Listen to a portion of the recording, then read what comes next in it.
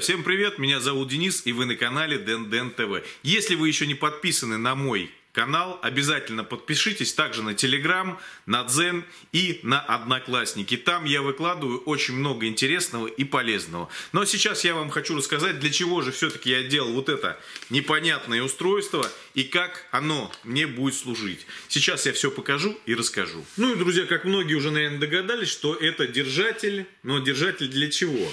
Буквально недавно я стал счастливым обладателем вот данного девайса. Это вот такой вот кубик от компании Cinemod. Пару слов расскажу про него, что он из себя представляет. На самом деле это классный мини-проектор для всей семьи. Вот так выглядит кубик от компании Cinemod. Мы уже влюбились всей семьей в данный кубик и он уже практически постоянно скрашивает наши вечера, то есть перед сном мы смотрим либо какой-нибудь мультик, либо фильм всей семьей. Особенно полюбила его моя дочка. При покупке данного кубика я упустил из виду один момент. Мы забыли приобрести для него подставку-держатель. Там есть несколько вариантов на официальном сайте компании Cinemod.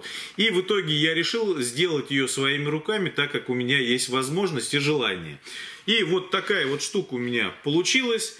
И сейчас я покажу, как ей пользуюсь. И, кстати, э, заодно покажу возможности вот этого малыша. Если кому интересно а, подробную информацию получить про данный девайс, под этим видео я оставлю ссылочку, там я все подробно рассказываю, показываю, то есть полный обзор на данный кубик.